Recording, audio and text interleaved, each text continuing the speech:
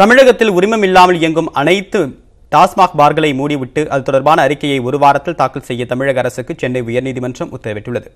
கோவையில் உரிமம் இல்லாமல் செயல்படும் டாஸ்மாக் பார்களில் மீது நடவடிக்கை எடுக்க கோரி கோவை கருமத்தம்பட்டியை சேர்ந்த பிரபாகரன் என்பவர் சென்னை உயர்நீதிமன்றத்தில் பொதுநல வழக்கு தொடுத்திருந்தார்.